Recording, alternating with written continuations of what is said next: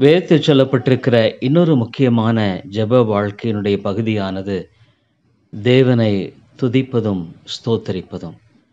நான் எக்காலத்திலும் கர்த்தரை ஸ்தோத்தரிப்பேன் என்று சொல்லுகிற அருமையான சங்கீதக்காரனைப் போல நாம் தேவனை அதிகமாய் துதித்து ஸ்தோத்தரிக்க வேண்டும்.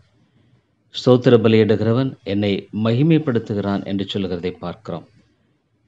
கிறிஸ்தவ வாழ்க்கையில் தேவனை எப்பொழுதும் துதிப்பதும் ஸ்தோத்தரிப்பதும் ஒரு அருமையான ஆவிக்குரிய வழிமுறையாக இருக்கிறது.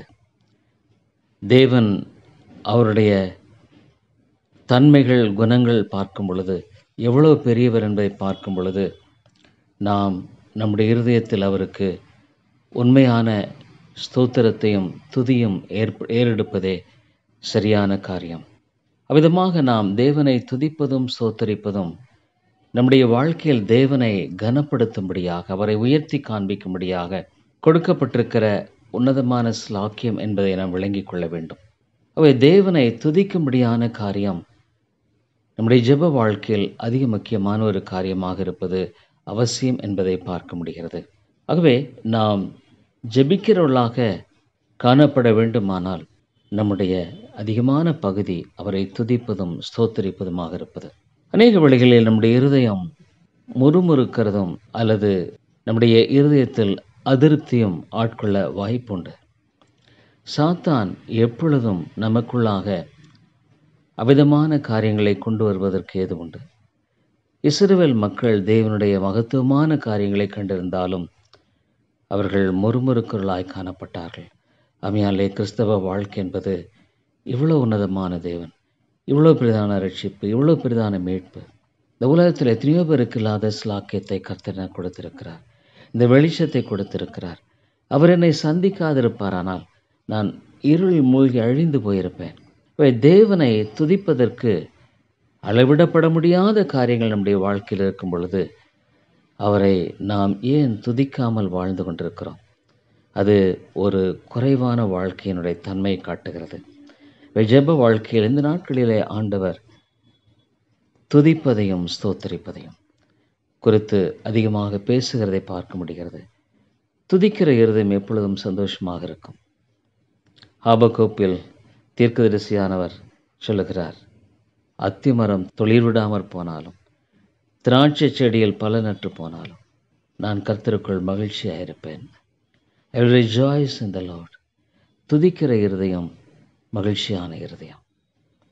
ஆகவே தேவனை துதிக்கிற ஒரு காரியம்.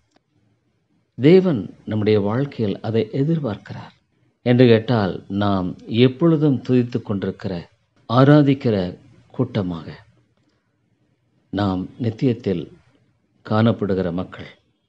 ஆகவே துதிக்கும்படியாக இந்த காலங்களில் ஆண்டவர் நம்மை எதிர்பார்க்கிறார். இந்த துதியை நம்முடைய வாழ்க்கையில் அதிகமாக அறிந்து கொள்ள. வேதத்தில் சொல்லப்போனால் ஜெபிக்கிறது மிக அதிகம். ஆனால் துதி இன்னும் அதிகமாக இருக்கிறது. கத்தரை துதிப்பதை குறித்து. அவை துதிக்கிற ஒரு ஜப வாழ்க்கை என ஒரு நல்ல ஆரோக்கியமான ஜப வாழ்க்கை இல்லைங்களா? ஆகவே துதிக்க கற்றுக்கொள்ளவும். அதிகமாக தேவனை ஸ்தோத்திரிப்போம். இந்த நாட்களில் தேவன் அவரை துதிக்க கற்றுக் கொடுத்து வருகிறார். ஜப பாடசாலையில் அருமையான ஆவிக்குரிய பாடங்களை தேவன் தொடர்ந்து கற்றுத் தருகிறது மிகுந்த அற்புதமான காரியமாகவே இருக்கிறது. ஆகவே இவ்விதமான ஒரு ஜப வாழ்க்கையை நாம் கொண்டு வாழ்கிறவர்களாய் காணப்படுவோமாக. தேவன் இந்த நாட்களில் உங்களை அதிகமாய் பலப்படுத்துவாராக. ஆனால் ஒன்று அறிந்து கொள்ளுங்கள் ஜப வாழ்க்கையை உங்களுடைய வாழ்க்கையில் காத்து கொள்வது மிக மிக அவசியம். ஒவ்வொரு நாளும் அதை அனலாய் காத்து கொள்ள வேண்டும். ஆசிரிப்பு கூடாரத்தில் எப்பொழுதும் எரிந்து கொண்டிருக்கும் நிலையை குறித்து நாம் வாசிக்கிறோம். அவர் heart should be burning for car ஆண்டவருக்காக அவருடைய அன்பு அவருடைய கிருப இறக்கத்துக்காக நம்முடைய இருதயம் எப்பொழுதும் எரிந்து கொண்டிருப்பது அவசியம். நம்முடைய வாழ்க்கையில் எப்பொழுதும் ஜப தூபம் ஸ்தோத்திர பலி நம்முடைய இருதயத்திலிருந்து எழும்புவது அவசியம். ஆகவே கர்த்தர் தாம் இந்த நாட்களில் தொடர்ந்து உங்களை அதிகமாக பலப்படுத்துவாராக. நன்றி.